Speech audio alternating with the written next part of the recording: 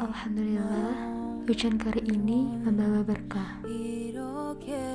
Suasana menjadi tenang, damai, dan bau hujan menjadi aroma khas untuknya.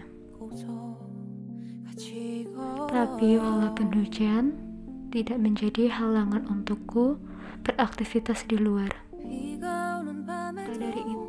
Aku harus pintar-pintar mencari outfit yang aku kenakan di musim-musim tertentu. Jadi, aku tidak takut lagi untuk beraktivitas di dalam maupun di luar.